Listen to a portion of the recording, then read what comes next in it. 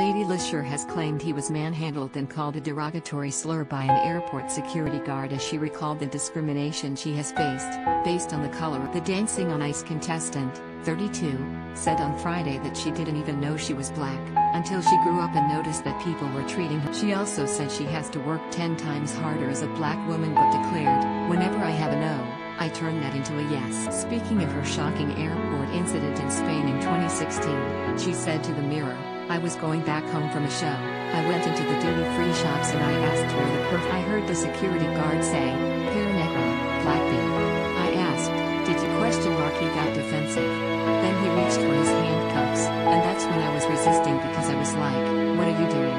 There were people all around, filming, a lot of English, it was very embarrassing. According to the rapper, the airport security attempted to remove her handcuffs but when they didn't open, the guard proceeded to hit her arms, leaving she was then taken to a separate room where she was interrogated by other staff members and treated like a amid accusations from security about her behavior. She insisted that they watch CCTV footage to prove her. However, when they witnessed the video, they failed to apologize or even look at her, instead pointing to the lady admitted you can't replicate the emotions she experienced in that moment, as she felt pain, hurt and anger adding insult to injury, she prepared to board her flight as she reunited with her friend, but the pair were turned away by staff after they were labeled disrupted. With limited options, Lady was forced to spend the night in the airport and wait for another flight. Lyricist, who grew up in Solihull in the West Midlands, said she never fell victim to racial discrimination as a child but has had to work 10 times harder as an adult. However, her struggles had motivated her career and now she always turns negatives into